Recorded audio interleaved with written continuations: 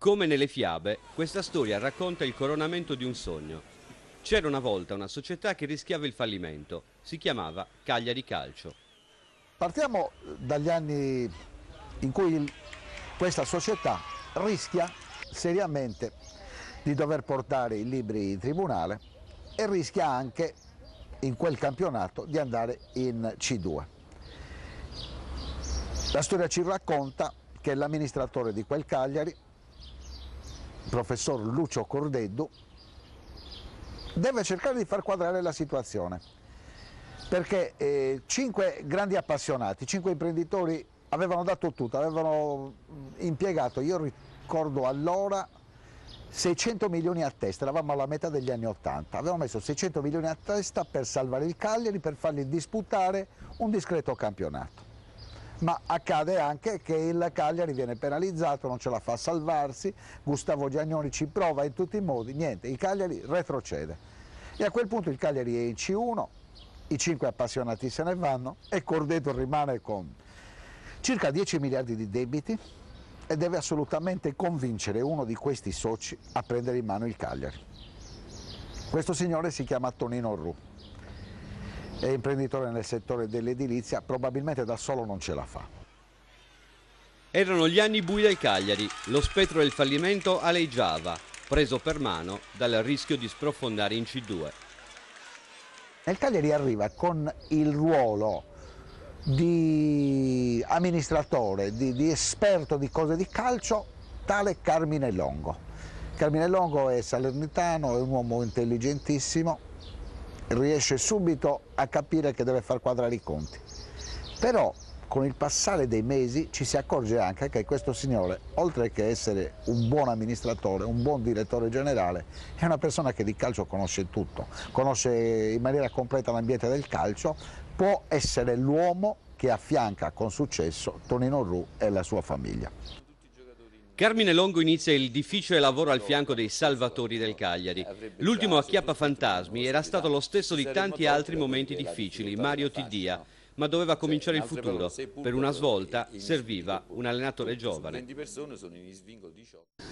È stata un po' la salvezza, la salvezza perché in quel periodo della cordata dei 5 o 6 che eravamo nell'85, nella stagione 85-86 rimasi il solo io a combattere col, con questa società piena di debiti, da un giorno all'altro il, il registro in tribunale, il fallimento ce l'avevamo dietro casa giorno dopo giorno, quindi era drammatica veramente la situazione.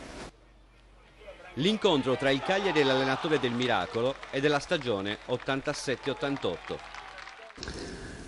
Ranieri. Ranieri fu una, una pura coincidenza perché io ricordo la prima giornata di campionato andammo a giocare a Pozzuoli contro Campania, Campania Putiolana, giusto? Sì. Perdemmo la partita 1-0 e rimasi impressionato dal, dal mister delle campagne putiolane, ma mica tanto durante la partita o perché si fosse perso 1-0 o meno, prima della gara. Che allora il Cagliari lo seguivo da solo, neanche, non facevo partire neanche il segretario, facevo tutto io, compilavo gli elenchi, presentavo agli arbitri, facevo l'accompagnatore ufficiale, c'era il medico, Mario Manca e Domenico Duri, eh, eravamo quattro con me dirigente, quindi non, eh, sa, avevi tempo hanno dato l'elenco dei calciatori da scendere in campo, da mettere in rosa, avevo compilato la distinta e aspettavo sotto, il, fuori dalla porta, sotto braccio gli elenchi pronti, aspettavo il tempo da presentare questi elenchi all'arbitro.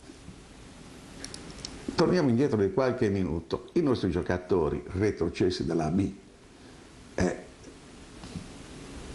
c'era allora Bernardini, Pulgar, adesso i nomi non li ricordo tutti, uno per uno venivano fuori dallo spogliatoio per fare il riscaldamento, sa come fanno, prendono la palla avanti e indietro, tocca dallo spogliatoio a fianco vengono fuori i giocatori del, del Campagna.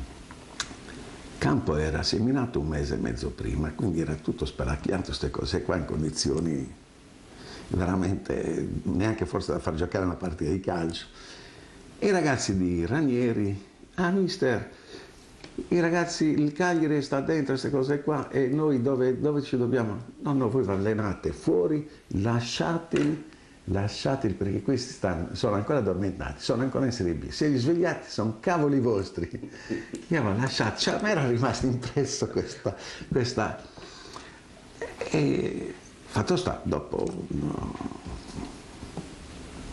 l'anno, finita la stagione, eh, tanto lui fece metà stagione il Campania Putere e fu esonerato per motivi, non lo so, non perché non fosse bravo, perché oh, la squadra stesse andando male. Tu sai benissimo, allora, giù in campagna, sono in tanti che vogliono.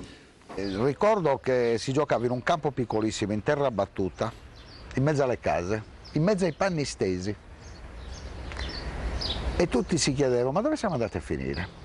E dall'altra parte del campo c'era un signore molto giovane che si chiamava Claudio Ranieri ed era l'allenatore del Campania Putiolana. Ranieri lo conoscevamo perché era un buon difensore della Roma, del, di una grande Roma.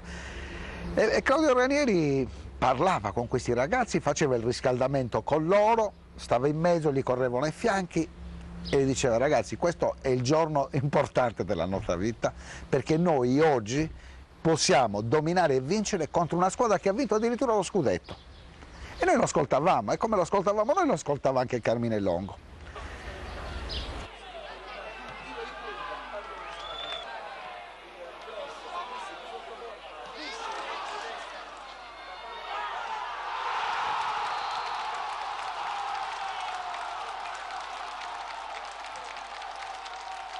Il Cagliari perse quella partita, loro giocarono in maniera straordinaria, assatanati, con la gente affacciata ai balconi di, delle case.